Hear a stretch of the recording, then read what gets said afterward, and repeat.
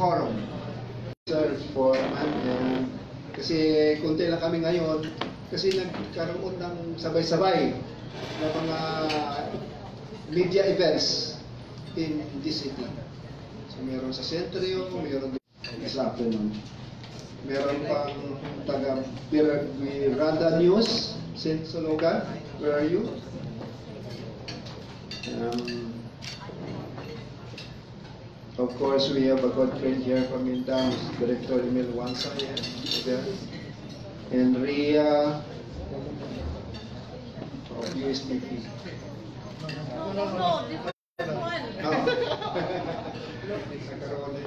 I thought it was me. Nagkaroon Same name, din. same name, different. Uh, the same name. Later, ma'am, we'll introduce you formally. Or Philippines is okay.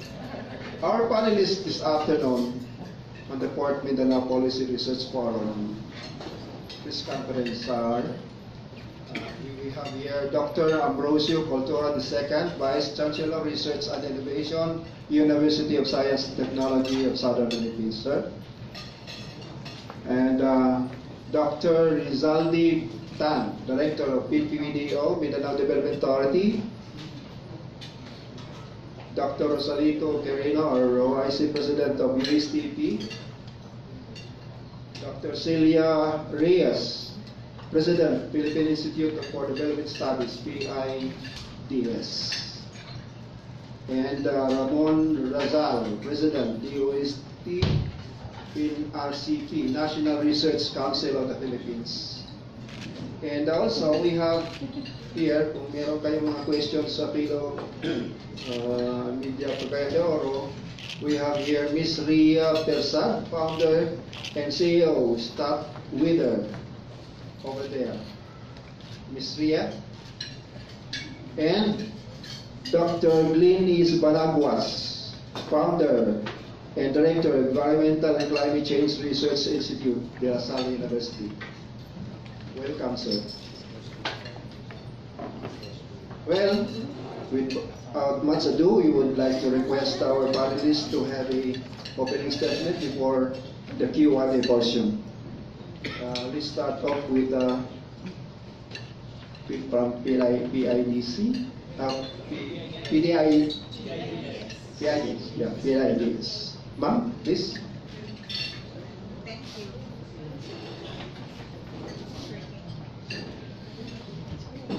So good afternoon, everyone. Um, we're having this uh, conference today um, to make people aware of the fourth industrial revolution. We would want everybody to, take, to be able to take advantage of the opportunities that fire for the fourth industrial revolution can bring to everyone. But at the same time, we're also, we also want to highlight that we need to be ready, that we need to be ready for, for this. We need to prepare for this. And my colleagues, actually Manette, Serafica, Rowan, and Elmer, actually uh, presented this morning the opportunities and challenges that we have to face in an era of this disruptive technologies.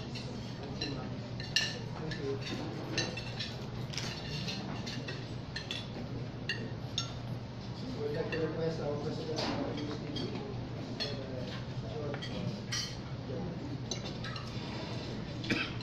Uh, good afternoon, and thank you very much for coming.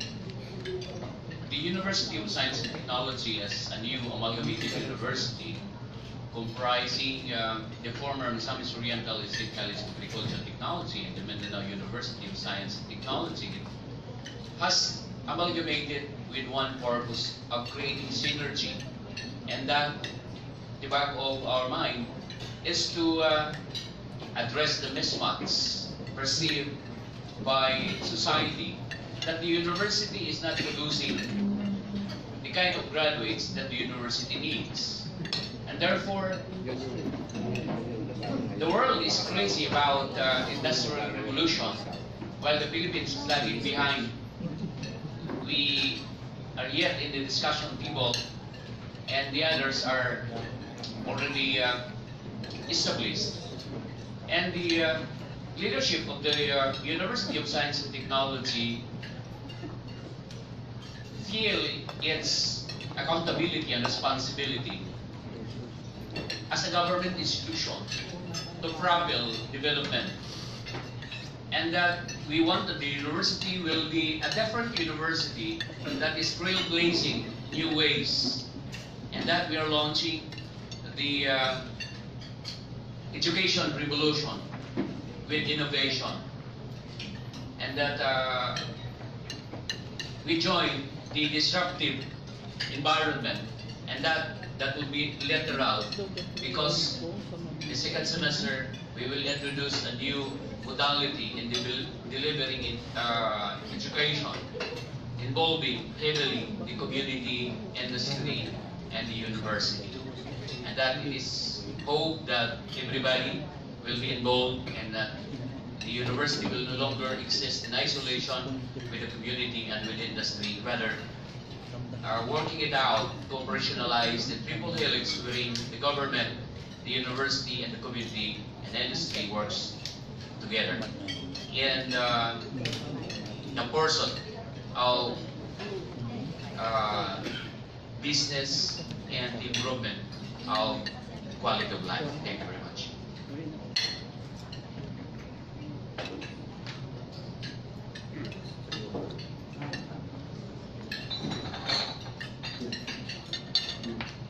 Thank you very much, sir. We would like to hear also from uh, Dr. Ramon Razal, President NRCP.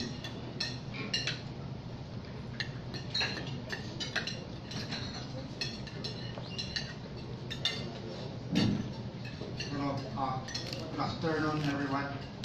Uh, I represent the National Research Council of the Philippines, which is under the Department of Science and Technology. And this is a group of uh, scientists in the country. There are about 4,000 members of this organization. And we come here as a new partner, possibly a new partner for Minda, and bringing with us the expertise of our uh, scientists so that we can contribute to the development of uh, Mindanao. I come here with the support of the governing board. There are 15 of them. And when they learned that I was going to enter into a memorandum of uh, cooperation with uh, MINDA, uh, I have the 100% support of the uh, governing board for me to, for NRCP, to provide uh, support uh, to MINDA as it uh, works towards the development of of Mindanao as a region so that it doesn't lag behind the rest of the country in terms of development, in terms of industrialization, and in terms of the quality of life of the people in the, in the, uh, in the, in the region. Thank you, Dr. Razal. We would like to also hear from uh, Dr. Ambrosio Potoran II of USTP. Good afternoon, everyone. Uh, first of all, I'd like to uh, thank uh, and uh, for uh, giving us, the USTP, an opportunity to partner with this uh, uh, forum, research forum. Uh, the university has already, uh, five years ago, we, we started uh, this uh, innovation, introducing innovation. In fact, uh, innovation is part of the training system of our students, innovative projects. Uh, luckily, we introduced this Industry 4.0. We believe that Industry 4.0, uh, the all aspect, all fields, the Industry 4.0 can be applied. Uh, even in personal, from policy, uh, any, any. Uh, that's why the university in 2015 introduced this technopreneurs, technopreneurship. We want to produce technopreneurs because we believe that technopreneurs, innovators, is the driver of this industry 4.0. Without them, I think we cannot be successful in utilizing, in implementing this industry 4.0. As mentioned by the speaker this morning, the driver will be the innovators, which is the technopreneurs. And there is a need for the university to establish this innovation ecosystem so that the industry 4.0 will be uh, implemented and realized in, in, in our country. And I think industry 4.0 also can help come up with this good policy. The industry 4.0 can help all policy makers if we use this Industry 4.0, it- because we know Industry 4.0 is the big data about, about smart technology, it's about Internet of Things.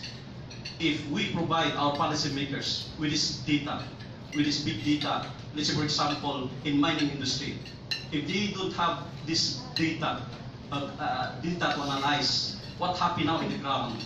For example, in the university now, we have this research on mining. If we will not give this input, this data to the policymakers, then this research output will be useless. Will be file, will be remain in the as an output. But if we input this one to the policymakers, then they will say, yeah, there is a need to come up with a policy. Because as uh, initial initial result or initial findings of this mining, our, our water is already contaminated with this uh, with this mercury. So uh, that's why I think it's very important that uh, we need to uh, collaborate and work. Thank you very much. Thank you, sir. And last but not the least, uh, we would like to call on Dr. Rizaldi Tan, uh, Director of DIBA. Thank you. On behalf of Sec Alonto, good afternoon and sorry, happy good afternoon. I'm not getting the response that uh, the university. Okay, uh, I'm representing Sec Alonto on behalf of UNDA.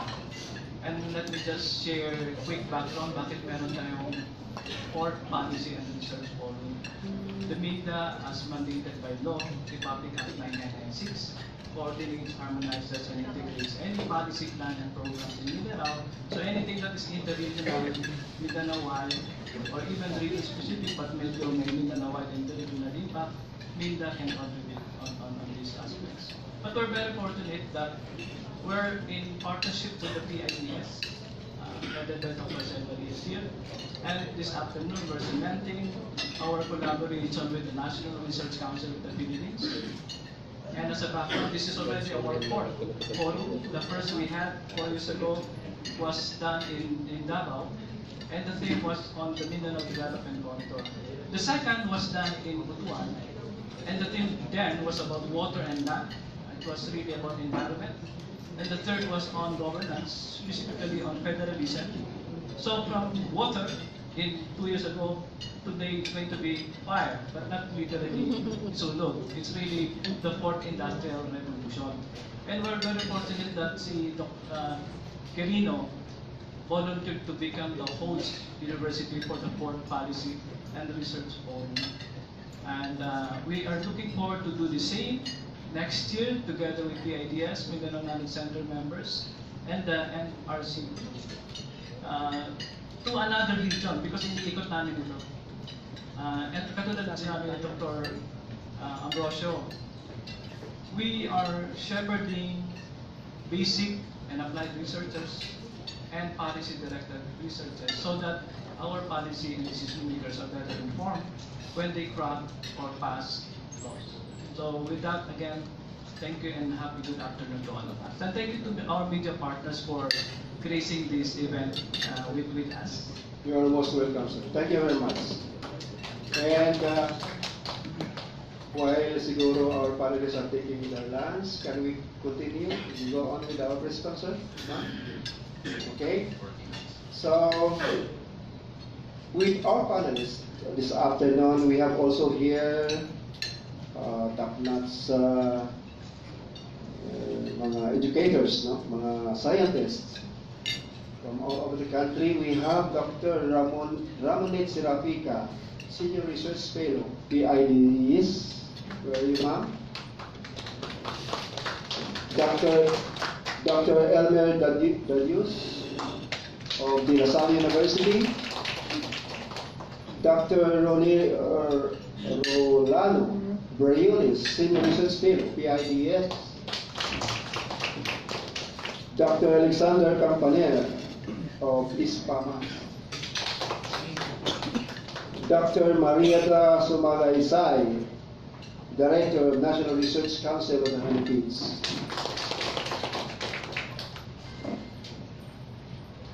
And we have also Miss Miriam Mias, of uh, where are? Uh, Dr. Geraldo Pidelia, and the National Research Council of the Philippines. And uh, Dr. Emmanuel Yanyo, Mindanao Cluster Head, National Research Council of the Philippines. Loaded tayo ng mga doctors ngayon this afternoon and uh, I think uh, the Media Cagayan de Oro is uh, challenged to question you, all of you here this afternoon on research and uh, science-related uh, uh, events. Which uh, the PDI, the Philippine National uh, Philippine Institute of Development Studies in collaboration with MINDA and uh, USDP. Uh, later in the afternoon, we will have a ceremonial signing and closing uh, ceremonial signing on the memorandum of collaboration between NRCP and MINDA. Uh, I think somebody from the panel will explain what is the signing this afternoon. And uh, now we would like to hear from the uh, our media colleagues, the Q&A portion now. Uh, please identify yourself and uh, represent which uh, organization you you represent. So please, any question first from uh, Ms. Tis Baloyos from uh, the By the way, Ms. Ba- Baloyos is a former DOST Science Information Officer.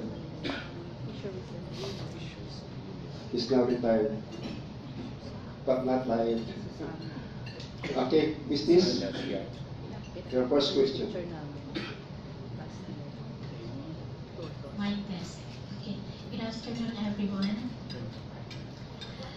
Uh, I am I am in an advantage situation because I used to work with the UST and I'm familiar with the NRCP projects. I'm happy to see that one of the the presentation studies presented there is about smart technology in farming. Okay. Uh, can you tell us more about this? Where are we now? What technologies or innovations related to farming are we going to, you know, promote? Especially now with the prices in rice. Do we have studies related to smart farming? Yes, ma'am. Um, but, I, I think uh, my colleague Edward will, will provide you some examples, but um, a colleague from DTI also mentioned that overall, um, agriculture compared to the other sector, sectors are quite lagging behind in terms of industry Yes. 4.0.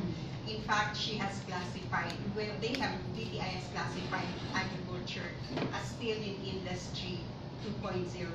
But as a whole, but I think there are bright spots in the sense that there are actually innovations being done in the agriculture sector. And perhaps I can ask Elmer to share just a little bit some of the innovations that we think can actually improve productivity and improve um, those working in the agriculture sector in. Go ahead, sir. Yeah, thank you very much, ma'am, uh, for that question. Well, uh, yes, a smart farm. Uh, as you all know, uh, we are lucky because uh, my, my team has been granted by the USAID STRIDE uh, for this smart farm project. Our partner here is University of Arizona. Our colleague there, which is member of the Philippine American Academy of Science and Engineering, is very famous, Joel Cuello.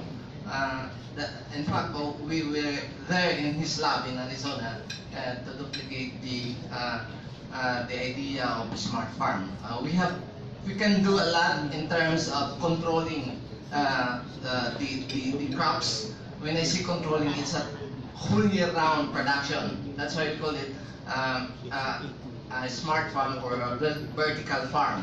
Uh, we have a chamber. We can have, by the way, we can have a farm as, as big as uh, three, three by three square meters. And, and this is fully controlled.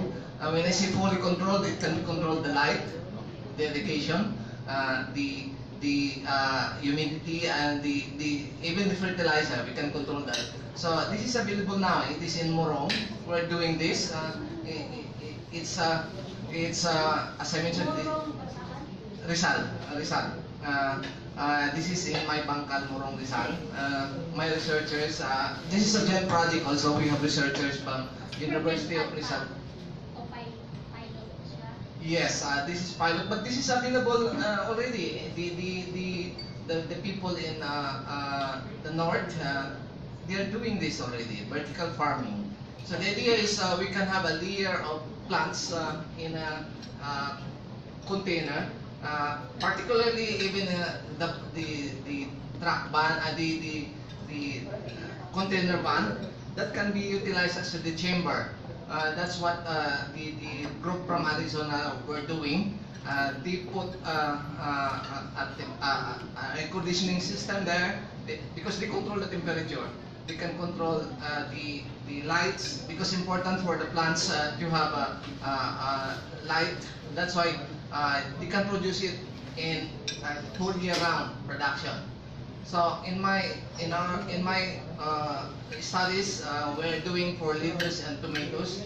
So it's ongoing. And aside from that, we have also I have a company by the way, Neuronmec, and we're doing uh, projects with PhilMech. Uh, so we can uh, uh, now is book book is very very famous. We had a, a system now that can distinguish or that can detect this weevil, rice weevil, uh, and uh, it's uh, already for commercialization. This is we, we were commissioned by the PhilMech. And also in terms of the selection of the quality of the products, like our export, the, the, the mangoes, we use Vision system uh, to uh, classify mangoes. Uh, uh, which part has uh, what mango is reject, what mango is for export. So we have that one. I'm going to present that one this afternoon also. We have also even the, the quality of the fish, the tuna. Uh, we can we can uh, measure, we can classify even the size, the weight. We can do that. So as far as uh, this smart farming is concerned, we are on top of that also.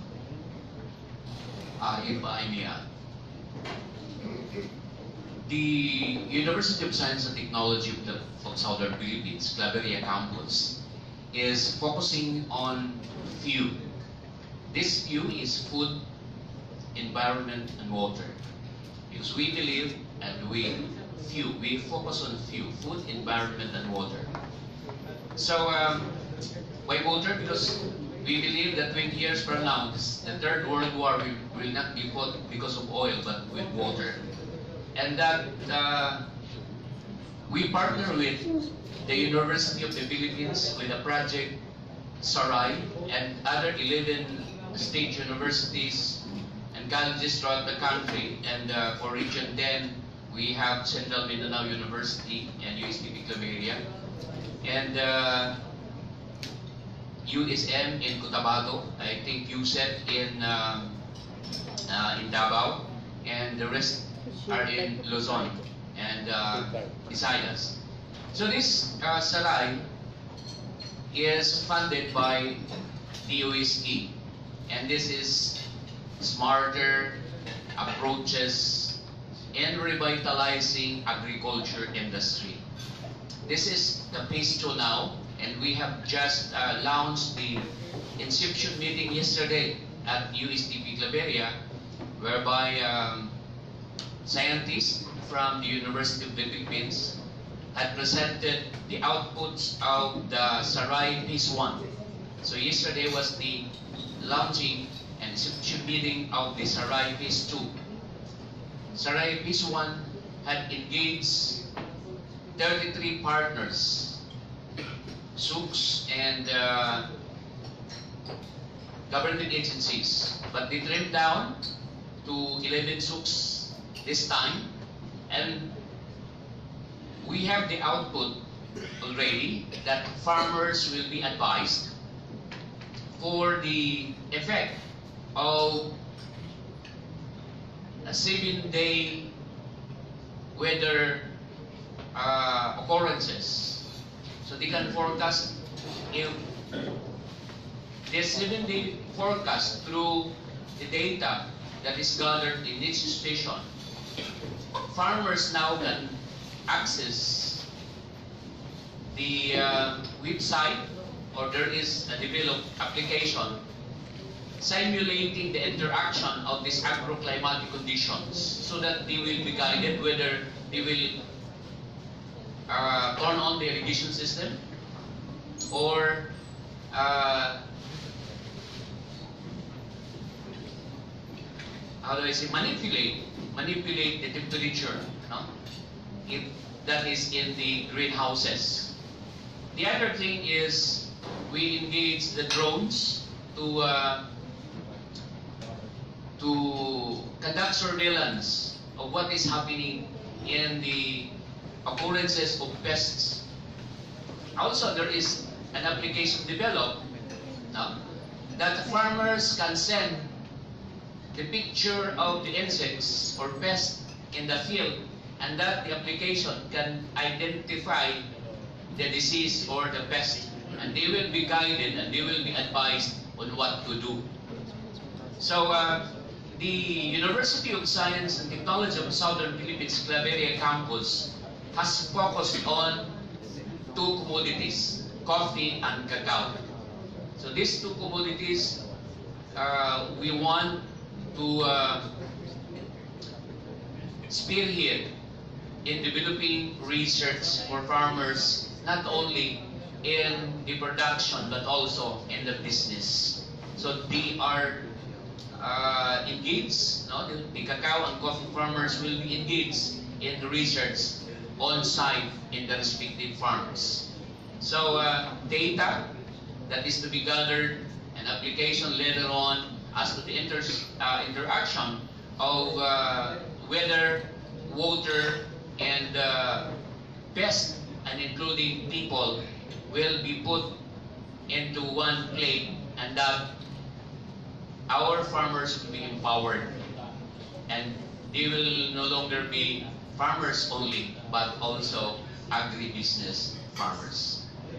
So it is our hope with our project in uh, USTP Claveria, the 40 million irrigation project, that is to showcase the Israel technologies of drip and overhead irrigation so that we will address the region's uh, food security and environmental sustainability initiatives so that people in the region, if not all of Mindanao, would learn lessons of these initiatives.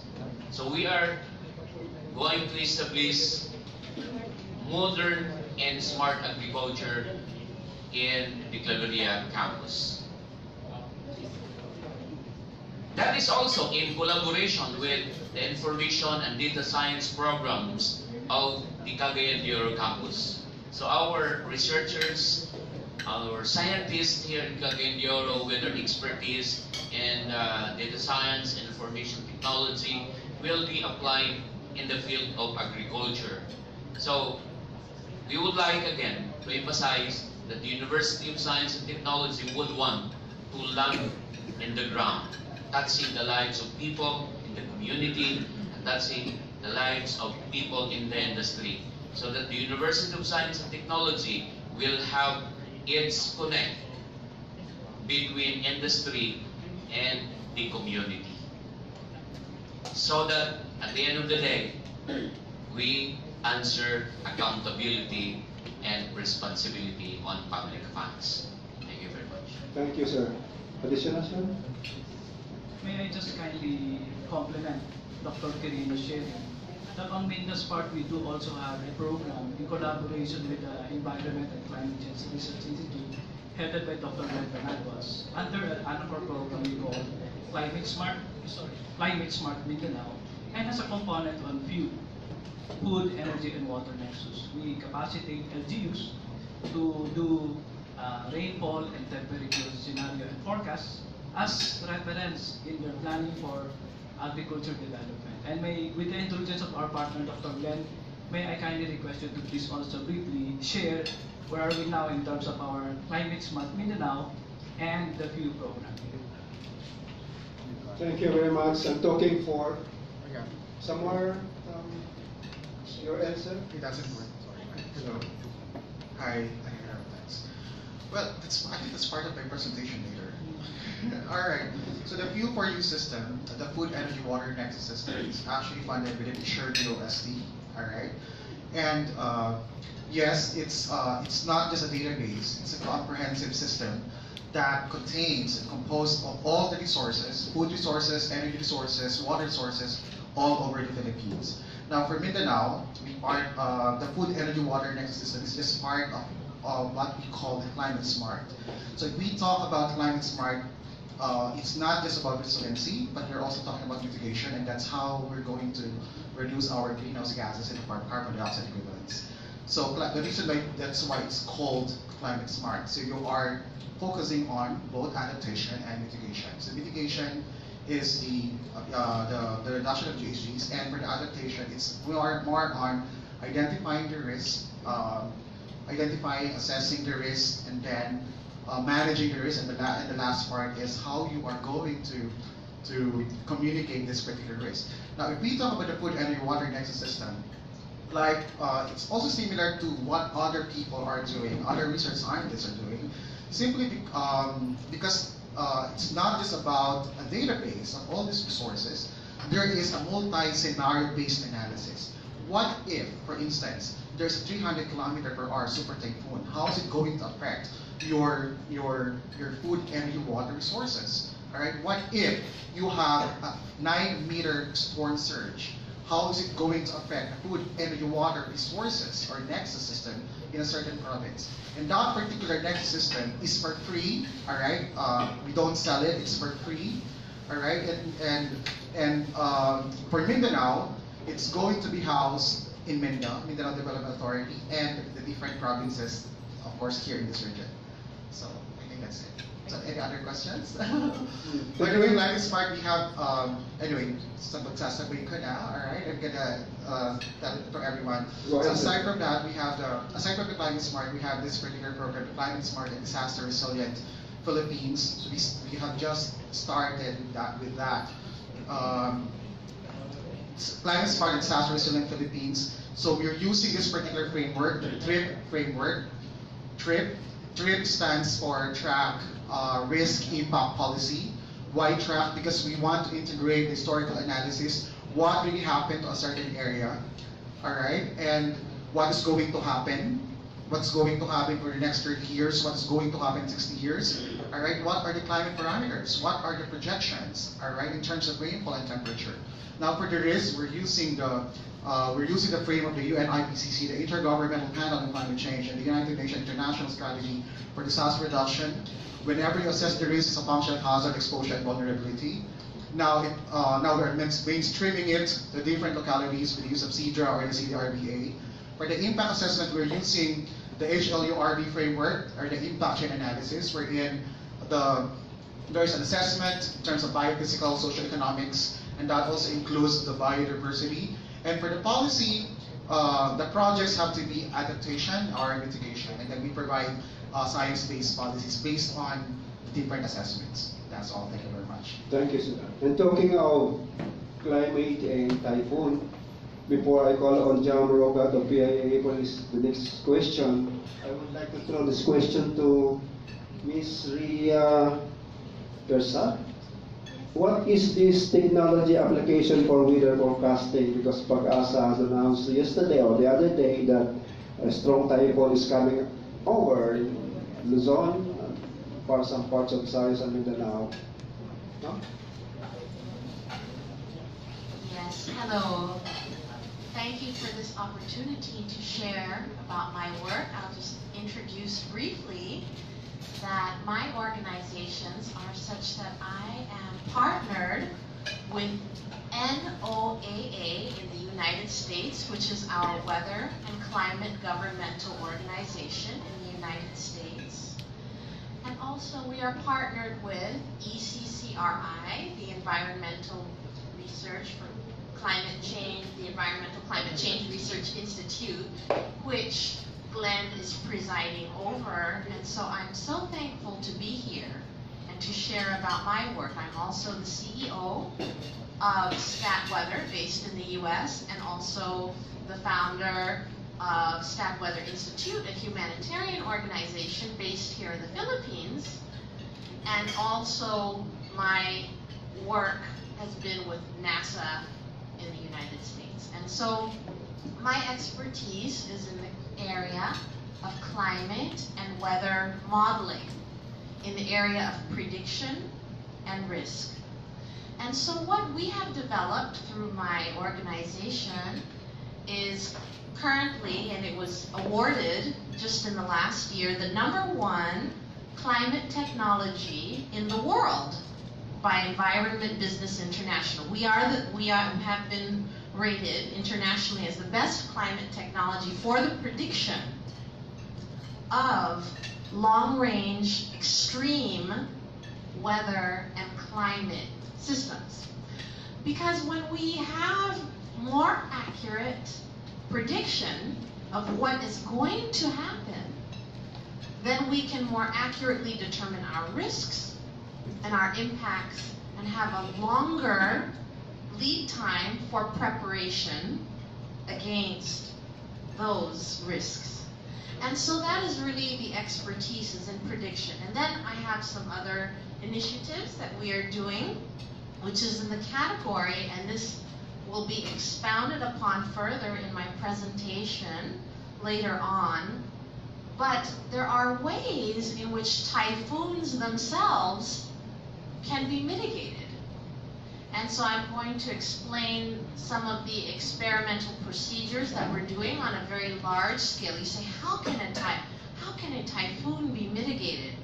And I will show you the things that we have done at the University of Miami and what the field work that we have done in the waters that actually keep storm surges at bay and keep our people safer. And we will also be doing this here in Mindanao for upcoming extreme weather conditions as part of a humanitarian effort. And so those are some of the projects in which I am involved. I thank you for this opportunity. Thank you for your initial information, ma'am. And maybe some more later from your end. We will call on now John Rogat from PIA. Hi, good afternoon. Um, I would just like to ask about this fourth industrial revolution. What is this about, Director? And you mentioned earlier that uh, we have to prepare for disruptive era of disruptive technology. Can that? Thank you. Thank you. I, I think we've seen some examples uh, this morning, although um, unfortunately um, our video uh, didn't work. But like one common example would be driverless cars. So that's just an example of what kind of tech, the kinds of technology that we're talking about. And somebody has shared about, for instance, getting pictures of plants and then uh, the system being able to diagnose whether that plant has disease or not. And so some de decision support systems. So maraming, maraming klaseng applications. But I think um, what we also need to highlight is that once there are innovations out there, there are technologies out there um, that are being developed, and they are disruptive because they're going to change the way we do things. Um, so that's why we call them disruptive. And, and I think we need to focus attention on, there are innovations out there, um, many of them not yet widely adopted. Um, we've, we've been hearing some examples of the work, the research that, that's going on, but I think we need to focus on, okay, what happens when these technologies become widely adopted? And I think that's one area where we haven't really focused on, we've been focusing on the technology development side, but we at PID think that we need to prepare better for that. So for instance, if you have 100 workers, agricultural workers, um, doing what they usually do, and then you adopt this technology where Elmer will just switch on, um, switch on something and, you know, water, get uh, water uh, irrigation starts, you have the right temperature, fertilizers being added to, to the soil, and you only need probably what, Elmer, one two, three persons to to do it. So you you pro- you are actually display. You can potentially displace some jobs, and I think that's what we want to highlight. That um, there are definitely opportunities. Um, productivity would go up, incomes would go up to those who would be able to take advantage of these technologies.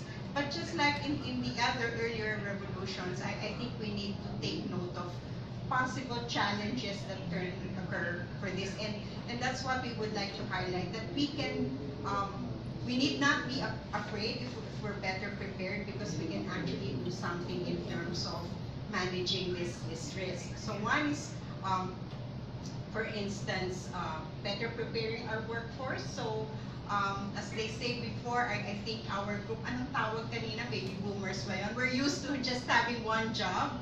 Um, we retire in the first job that, that we entered. But now the millennials, they, you just change jobs. So the kind of education that you need to provide to our workforce now is going to be a little different. And Monet has actually highlighted its lifelong desire to learn. So you need to um, instill that that um, appetite for learning because what will happen is you will have to upskill to, to always upgrade your skills to be able to cope with all of these uh, changes in, in technology. So I think what we really want to, to um, put across is that yes, there are technologies out there and it's very exciting because there are opportunities really for um, um, taking advantage of the gains from these technologies, but we also need to be better prepared for this. Thank you, Dr. Reyes. Any follow-up, Jam?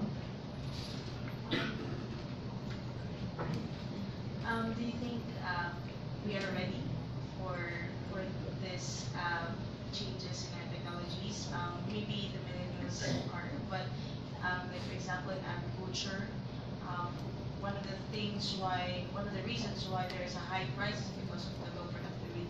So how how will that help um, or how will that um, uh, support the agriculture sector at the same time because our farmers are the, the uh, median age is like 50 above. Uh, can they accept that kind of technology? Um, we- As, as you mentioned, I think the average age is about 54 or 57 years old uh, for, for the farmers. So um, I, I think it would be a little, um, what would be the appropriate term, challenging to um, switch them to smart farming, but it's not impossible. Um, but I think those are the challenges that, that we need to, to deal with. It's not going to be very easy. I, I think the plus, I don't know whether you would want to call it plus factor, is that um, I, we don't think that adoption is going to happen immediately for all sectors. So there's time to transition in, into that. But nevertheless, I, I think we need to um, to make sure that we are taking steps towards that. And in fact, that's why we're very happy to be hearing about the the so many programs here in, in Mindanao, in particular at USTP, in terms of um, how these new technologies can can can be um, uh, can be used to, to, to improve. But I, think, as I mentioned earlier, one colleague from DTI mentioned that overall, um, agriculture is still in um, industry 2.0. Uh, if we're talking about industry 4.0, uh, if you look at agriculture, and I think you, you probably have a better sense of that if you go around the farms, uh, especially the, the small farms, perhaps Dr. Quirino might, might be able to share something, but um, I don't think they're using the, the farm that uh, Elmer described earlier where you have this uh, um, container vans, highly controlled temperature, irrigation uh, inputs and so forth. But what you would find would be farms who are still worrying about water, uh, worrying about the uh, farmers who haven't tested their soil, haven't done soil analysis. So I, I think it's still a little different from the ideal farm, kind farm that, that uh, we would want to. Yeah. Um, the University of Science and Technology would like to be different. We would like to respond appropriately in this uh, crisis or, shall we say, phenomenon. Uh, inflation, as you mentioned, how do we respond to this? And are we ready? Well, it's a mindset. Being ready when and who. We have classified the population to be millennials, uh, baby boomers, and uh, centennials. And we have this fact that 57 years old is the average of the farmers.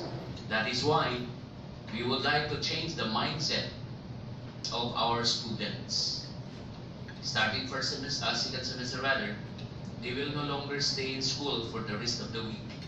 Rather, it's only for uh, three days, the first three days, or only three days, they will be in school for lectures.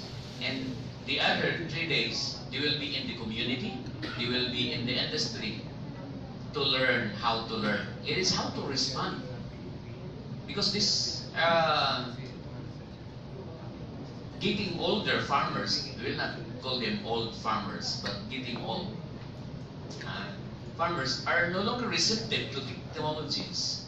And that they themselves, ironically, are not encouraging their sons and daughters to enroll in agriculture courses. Because we have that old concept of magtanim ay hindi biro.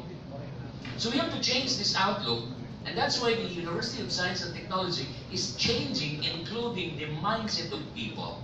That is why in this university, when you ask, kumusta, we don't say, okay lang. We don't say, morag yapon, but we say, asinso dako. So that when people hear this frequently, it will be instilled in their minds na kailangan mag-respond. Having that positive attitude, having that optimistic behavior, na mayroon pang pag-asa. Hindi natin, uh, we will not lodge our hope to sweat dress, to luto, but to change our environment. It is one of the roles of the university, not only to change technology, but also to change the minds of the people, the young, especially so, that there is that, there is that uh, uh, trade-off of technology this time. So you can learn things uh, very easy, but you forget about values. It is useless to be a cum laude if you don't have a social, you know, uh, virtue. It is needed in our community, and that's we are losing these virtues, these values. So we want that our students will be immersed in the industry. We want that our professors will be together in this immersion program so that they can discuss among themselves while they are in the industry, while they are in the community, what are the problems present. And that in their research, they can look for a possible solution so that there is an upliftment of the quality of life of the people in the community. That, and that's the ultimate goal of university. And that most, if not all, of these universities haven't yet changed their mind. What is in their mind is to teach students. But actually, this time, in the fourth industrial revolution, if professors use the methodologies in the second or first to third industrial revolution, they become redundant because their students know more than what they know. Because these professors use the old notes of their professors when they studied the university. While the young ones just one click, then with the access in the internet, they can learn many things. So what's the use of having professors? This is to guide them with the right values. So the paradigm now is not the transfer of knowledge, but to develop in the students the ability to learn how to learn. And the only way to, to, to learn how to learn is to experience themselves in the field. So that whatever situation that they may have in the future they are able to respond appropriately. Because this is all about survival. This is all, this is, this is all about improving the quality of lives. And to respond and to survive doesn't need the brightest, doesn't need the smartest, but those who respond appropriately will survive. So it is where the university is trying to complement Industry 4.0 or 4.0 with Education 4.0. Innovation, revolution in education must also undergo, must also happen. Because we don't want, again, that what the industry needs is not being supplied by the university. Students know the problem and operations of the industry. It is where we will real, realize productivity, efficiency, and effectiveness. And that the University of Southern, uh, Science and Technology of Southern Philippines would like to trailblaze in this endeavor. Thank you very much. Can I also respond? Uh, in addition to that, Go ahead. uh, you know, uh, all of us have fears that uh, Industry 4.0 will really uh, uh, replace uh, the works of the people. Now, uh, whether we like it or not, it will come. It will really come. So, uh, we have no choice. So, we have to prepare ourselves for that. As I mentioned this morning, Industry 4.0 uh, industry uh, uh, first generation of industry industrial revolution happens in 17th century. And there's really a real revolution by the people because they are afraid that their works will be uh, taken over also. This is the fears that we are also experiencing now. Uh, when in fact long ago it was proven that it really works for the benefit of humanity. So how would we address this? What is important is uh, we will train our people, okay, to cope up, to, to be knowledgeable on that. And the strategy should be done. Uh, remember, Industry 4.0 is the integration of digital technologies and uh, physical and biological things. It's not only on mechanical engineering, it's not only on electrical engineering, it's not only on civil engineering. It involves the whole. So it's now interdisciplinary research. So that's our trust, particularly us as researchers. I'm talking of LaSalle and I'm talking of NRCP, I'm talking of researchers in UST. We, we really uh, uh, advocate the interdisciplinary kind of research. So it, it, it is really interesting because our students, uh, we have manufacturing, we have electrical, we have mechanical, we have computer science, really love to go to the farm. They are not based agriculture, engineering, or whatever. And they have to learn what is in the farm. They have to learn how to grow plants.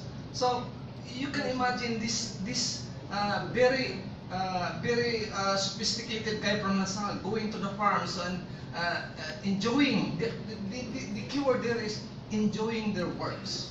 Okay, so imagine the control. They even built uh, peace uh, because in our system, in the smart uh, farm, the fertilizer, uh, rather the irrigation will come from the fish pond because uh, we are sure that the nutrients from there is uh, sufficient already. But we have to measure that. We have a sensor to, to look at the uh, nitrogen, potassium, the, the NPK of that uh, water because we can do hyd- hydroponics or uh, so the, the, the students love to do that. It is fully controlled. They have their program on automated system wherein if the sensor says that it lacks of the, the, the water, automatically the valve will open. Nobody should open that manually. It's their program. Uh, when, when it says that the temperature is not sufficient, the air conditioning system will in, uh, increase the cooling system. So this is for them, this is exciting. And they can see the plants growing. So this kind of uh, uh, education should be put into our young generation so that they will uh, agriculture. Uh, in that way, their learning is wholesome. They knows the technology. They knows uh, the when when is the time that the the the plant ready for harvest. When is the time that the plant ready to flower? When is the time that the plant ready uh, for germination. They have to know that because the characteristic of the plant uh, in terms of the sunlight varies depends on the, their age. So they have to adjust the plant. The lights that this plant is receiving when they are still young is minimal. The lights that this plant is receiving when it is flowering is different, and so on. So these things could supposed to be before are known only for agriculturists. But these kids now are electronics engineering. These kids now are manufacturing engineering, and they have learned this one. So that's the, the challenge as educator.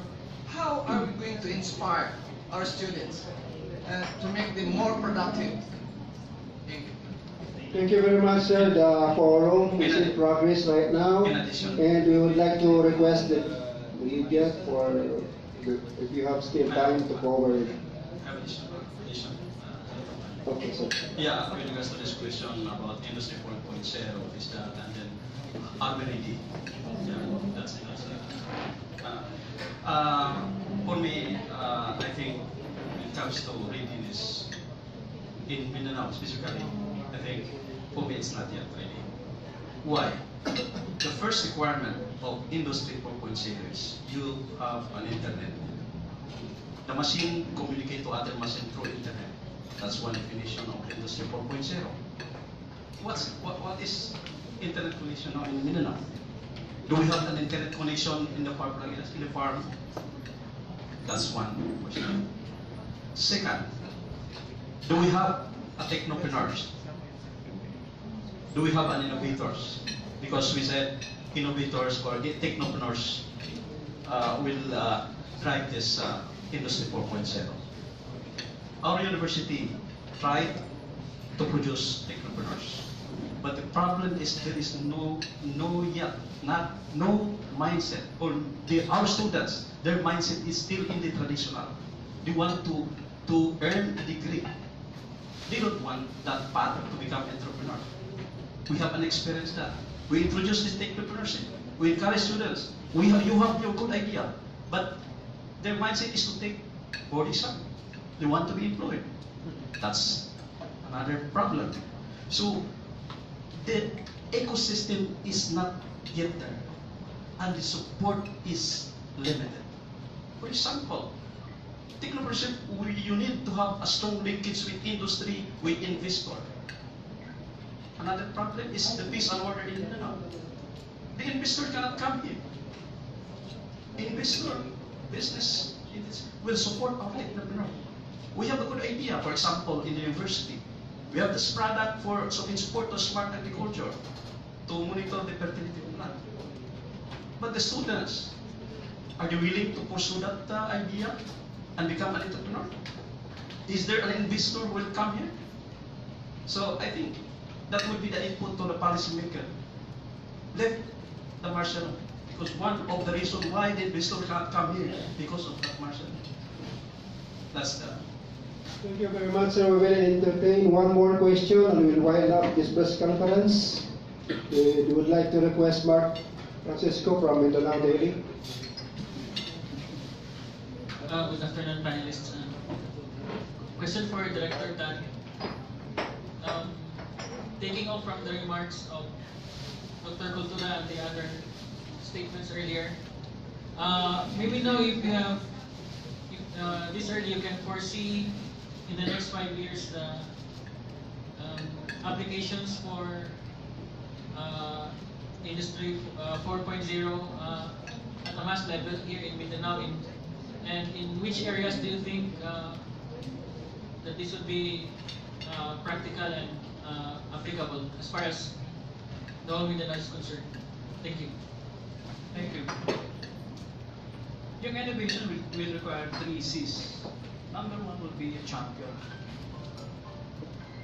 So it, it may be the ideas, it may be anyone from the government agencies or business group. The second thing would be the change management process and clear.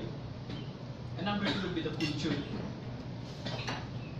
At present, wala pa tayong culture of innovation, which uh, Dr. Quirino has shared. No?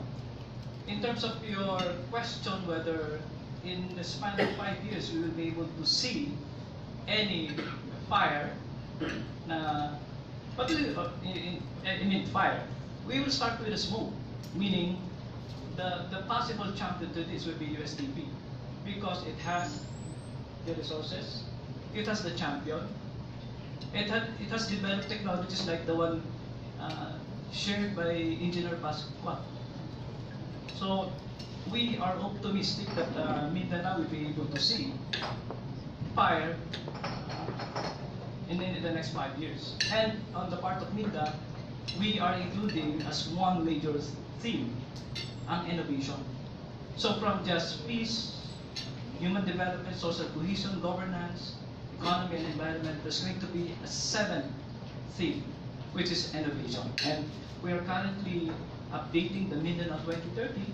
It's an updated plan from 2010 to 2030, but we will update it into 2018 to 2022. Oh, sorry, to 2030, where innovation is included.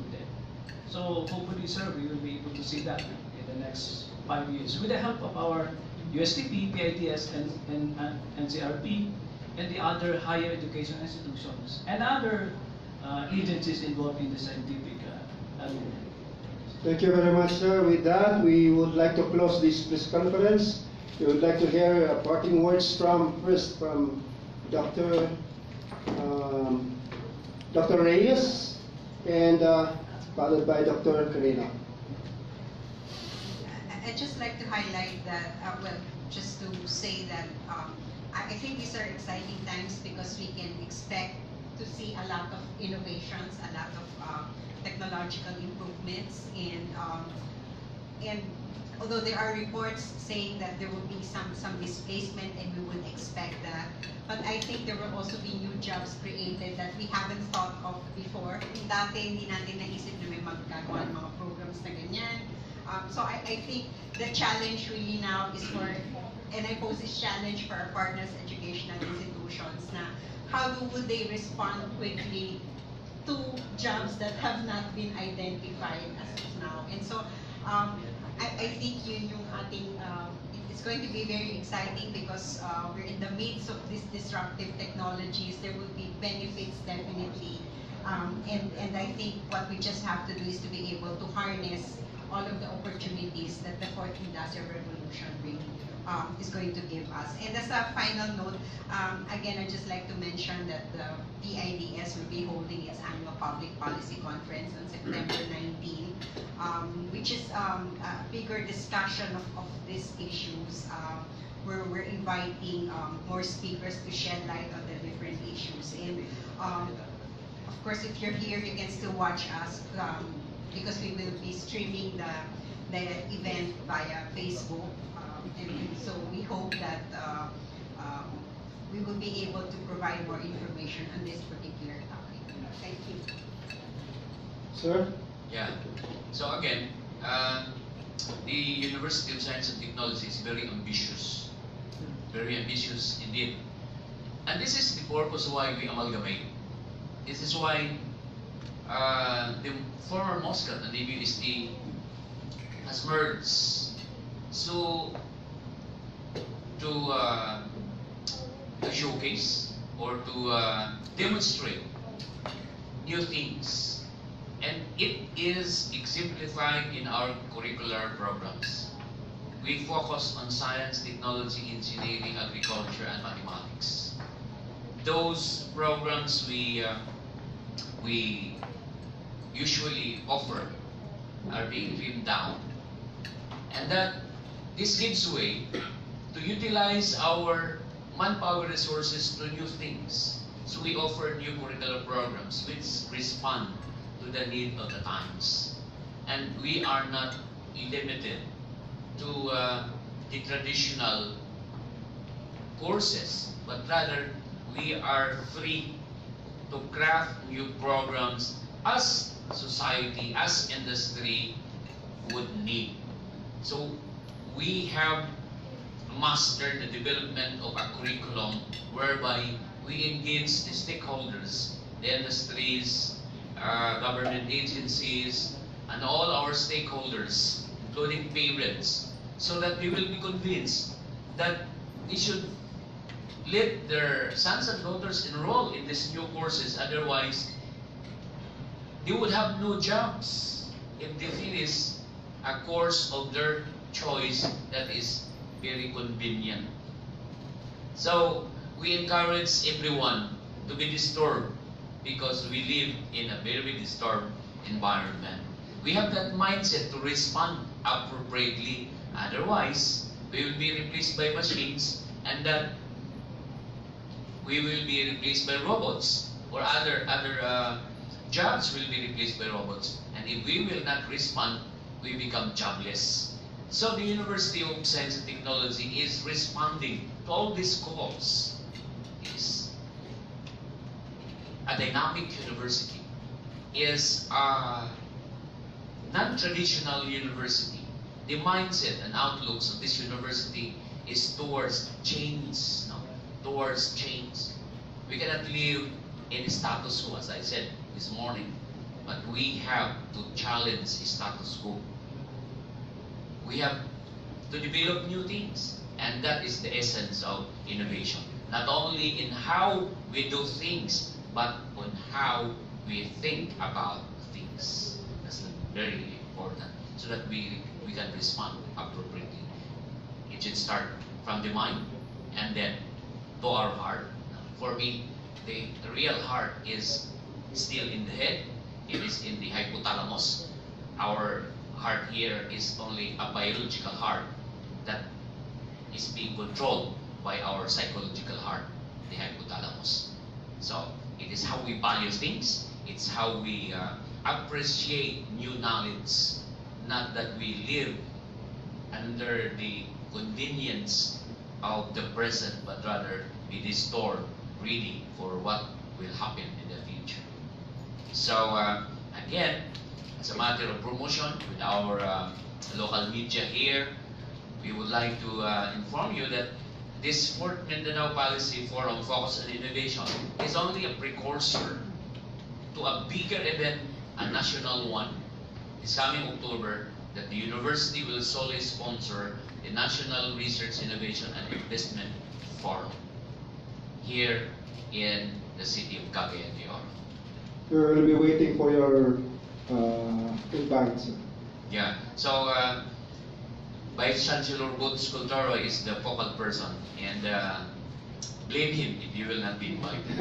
Thank you very much. With that, uh, we would like to close our press conference of the fourth Mindanao Policy Research Forum. Thank you very much, members of the